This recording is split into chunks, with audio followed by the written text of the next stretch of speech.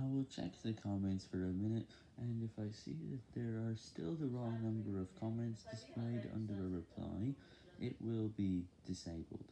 I'm not going to be able to leave links ever again, and I think they will not give views anymore, so that will be very sad. So I'm going to check them, you should go.